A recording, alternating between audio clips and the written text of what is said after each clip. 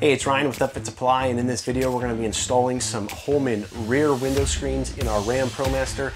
Let's get started.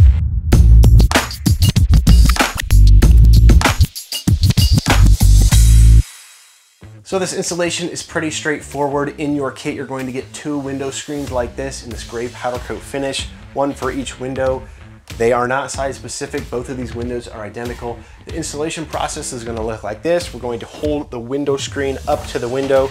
We're going to mark in these little hoops the locations uh, where we need to drill holes. We're gonna drill those holes and then we're going to attach the window screens with some provided sheet metal screws and do that for both windows. So let's get started. I'm going to start by just marking. I'm going to hold these up um, as best as I can.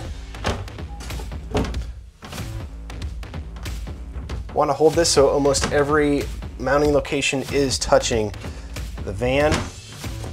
I'm just using a chalk pen to mark these locations. We're going to drill my holes.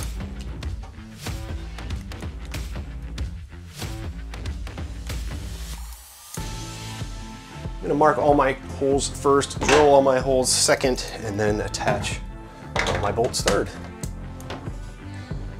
Just in case there's any minor variation in manufacturing, I'm gonna make sure I'm using the same window screen for marking as I am the final install. This is a 3 16 inch drill bit with a drill stop on there.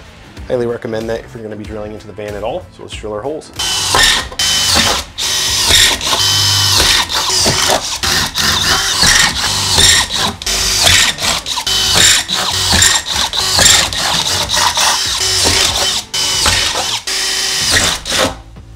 Okay, now we're ready to install our screens using the sheet metal screws. I'm gonna keep these generally loose so that I can get all of the holes aligned and then I'll tighten them all down at the end. It is helpful if you have this nice Holman workbench in the back of your van to keep all your bolts ready.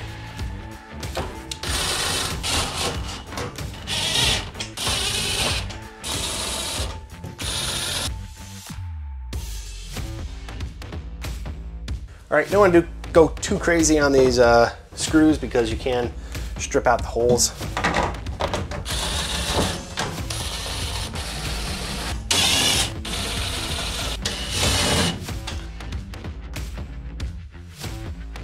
All right, there we go. We even have three extra sheet metal screws and washers that we can put in our jar of bolts. So that's always great to have those. Now, uh, that completes the installation. This is gonna protect the glass really if I have anything, you know, sitting on the end of this shelf and I shut the door or whatever. It also gives you another layer of security.